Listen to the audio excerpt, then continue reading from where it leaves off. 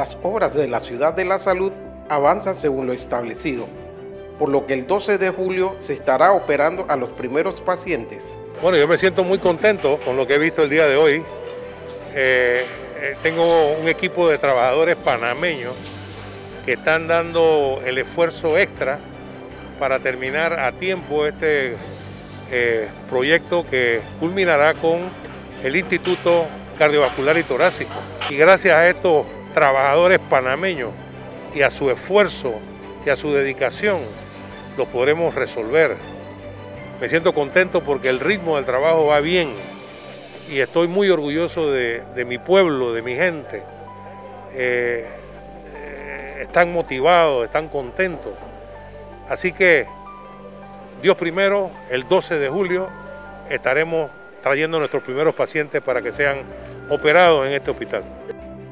Los avances fueron resaltados en la reunión semanal. Hemos observado en esta última semana que el contratista, eh, Rega Service en este caso en particular, ha tenido un avance significativo en lo que es el edificio en donde se van a albergar los quirófanos del Instituto Cardiovascular.